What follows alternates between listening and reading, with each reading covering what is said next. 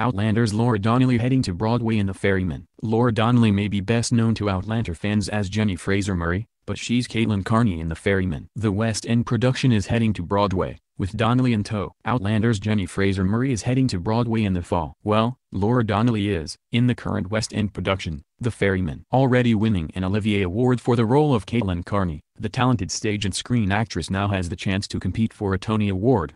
She's not the only West End cast member going across the pond with the production. More than 30 of the current cast members are going, according to Deadline. Paddy Considine, Genevieve O'Reilly, and Dean Ashton are among the names of those moving across, with more casting still to be announced. What is The Ferryman? The Ferryman is set in 1981 rural Northern Ireland, where the Carney household is getting ready for the annual harvest. If it wasn't already hard work and deserving of the celebrations and feast afterward, a visitor interrupts the plans. The time and place should give some of the setting away. This is set in the middle of the IRA troubles and it was partially inspired by Donnelly's real-life story. In The Ferryman, Caitlin is a widowed mother at the mercy of her brother-in-law, who runs the farm and cares for his sick wife and children. However, it soon turns out that Caitlin's husband was one of the disappeared. This is where Donnelly's real story comes in. Her uncle was one of the disappeared. This group of people were taken by the IRA and killed. They would turn up dead years later, but during that time the IRA would tell the families that their loved ones had been seen alive and well. Donnelly shares that this was a tactic by the IRA to keep people in limbo, making it so people couldn't mourn and grieve. But not many people have heard about the disappeared. In fact, despite Donnelly knowing the truth, she didn't realize there was a group of people with this title. She was dating the Ferryman creator Jez Butterworth at the time she watched the documentary and heard her uncle's name mentioned. Butterworth then realized how little there was about this topic and got to work on creating this important and poignant play. When is the Ferryman on Broadway? Donnelly & Co. will come to New York in the fall. Opening night is set for October 21st at the Bernard B. Jacobs Theater. There will be previews from October 2nd. Will you go to see the Ferryman on Broadway? Are you excited to see Donnelly in something other than Outlander? Share your thoughts in the comments below.